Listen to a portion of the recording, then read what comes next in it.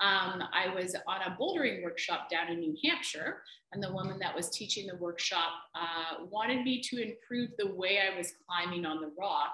And her thought was if I could understand movement more specifically, actually from my solar plexus, um, which you know you could interchange that conversation for just understanding how to move better through core movement. Um, that that would improve the way I was going about movement on the rock, sort of thing. And so she had given me a suggestion in terms of looking at modern dance, because it moves a lot from that solar plexus or, or core centered focus, um, yoga and Pilates. And so I came back to Collingwood and um, I took a, a, modern dance class, and there wasn't yoga wasn't as big here at that time, uh, which is shocking because it's very popular right now. Um, and there was a Pilates studio in town, so I did some modern dance and I did some Pilates, and I just felt like I was connecting with the movement better through Pilates. I was understanding it in my body better than um, I was with the modern dance instructor had said, you know, I really think you should look at doing your instructors uh, at Body Harmonics. And so that kind of was like a little bug in my ear. And so I went to online back in, I think it was like 2006, and I was looking at the website. And then I signed up for the MAT instructors course. And after I did the MAT, I was like, I'm going to do my equipment training and got my full certification back in 2006, 2007, somewhere in there. And I did some teaching for this one studio for a bit, and then she closed the business altogether. And I took what she had left with clients and I opened Therapeutic Pilates in 2009.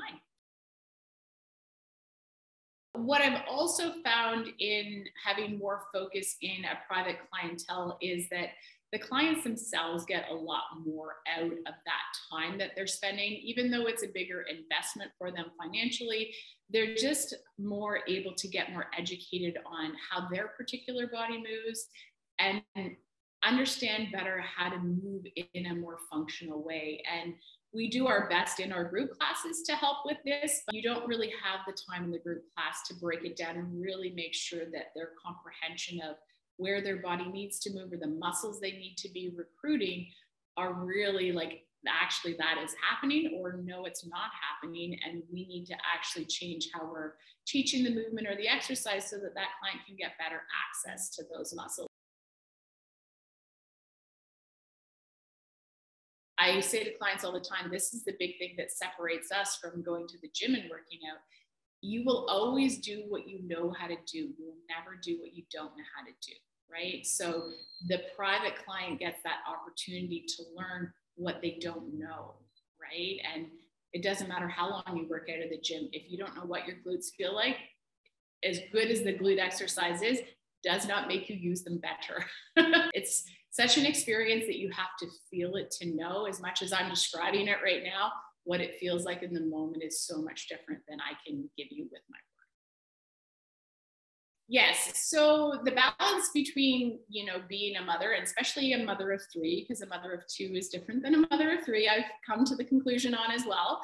Um, the studio is like another child. So, in many different ways, I have four children, and um, it is interesting how the children are aware that the studio is another child they compete with at a certain level right? So, you know, each kid is pulling so much attention, and the studio is also pulling so much attention.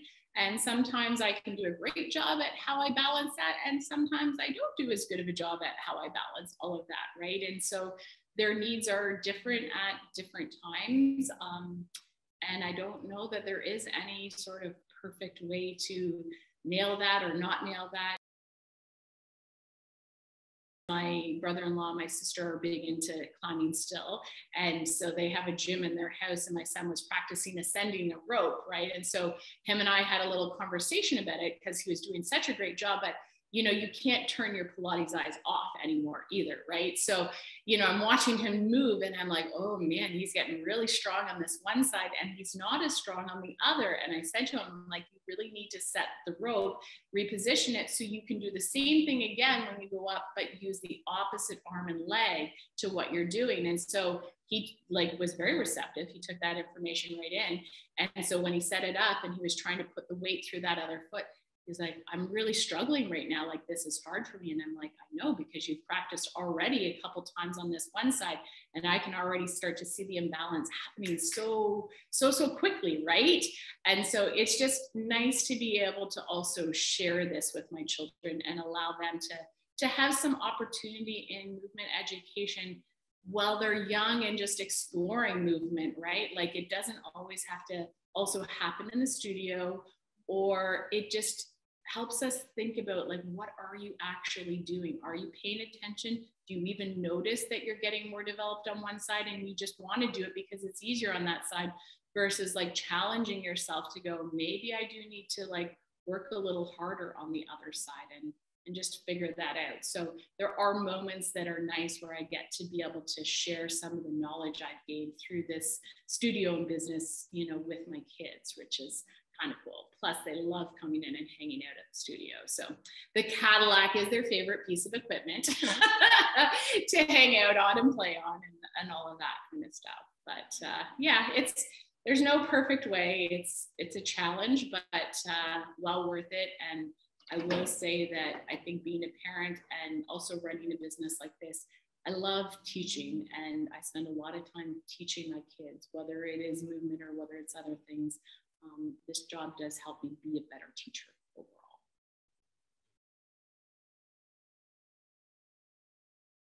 Back in sort of 2018, I said to Margot that um, I was very much interested in being able to become Body Harmonics um, educational partner for a couple of reasons. One, I was struggling with the fact that we're so far sort of north of Toronto and not everybody wants to move up here or just trying to find accommodations is sort of awkward in that. And I was feeling a real need to be able to generate instructors. And my request to her was like, I want to run the training program here so that I can try and pull more from the community. And if I can educate some more people in the community, I would have access to quality instructors that already were available here and they weren't having to like move and transition and all of these other things. So that was the initial draw of it. Um, and then really looking over the whole spectrum of things, I've always wanted to teach, right? Like that has been a big thing for me from a very early age. But I enjoy the challenge of creating and designing excellent teachers. And I feel like I want to make a big contribution to our world out there with really good movement educators because I do feel like there's a lot of misunderstanding in movement and what's going on in some of the biomechanics. And clients can't always seek the help that they need. And I feel like if we can have better educators out there and teaching clients more the information that they need,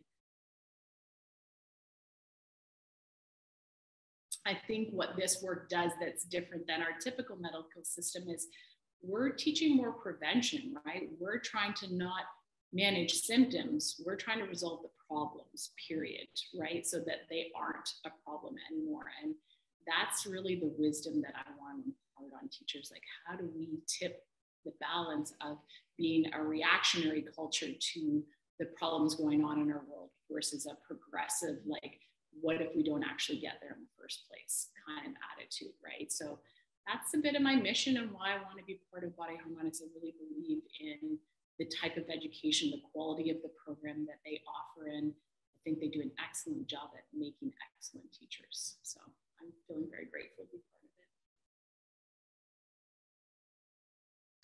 it. The big thing that I want for them is that this is a lifestyle, right? So they need to be able to pick their own schedule, the days that work for them with scheduling.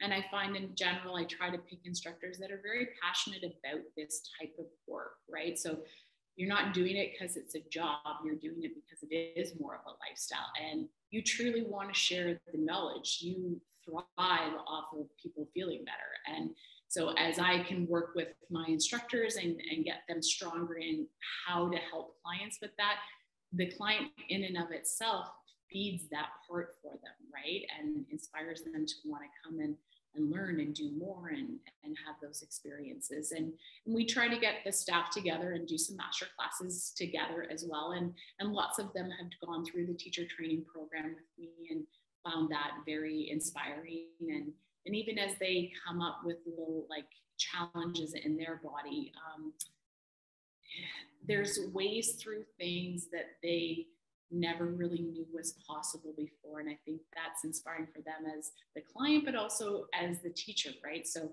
we try to work very collaboratively together and, and keep them motivated and um, lots enjoy the on-demand stuff from body harmonics just to keep them focused and margot does some great pop-up clinics so all of that i think contributes to you know just feeling inspired about movement and wanting to like it's a bottomless pit like there's does one ever know everything you need to know, right? So I think the more you keep feeding that for people, it's like, oh, you know, you get to this point and then it's like everything empties and you're like, oh my God, there's just so much more I need to know.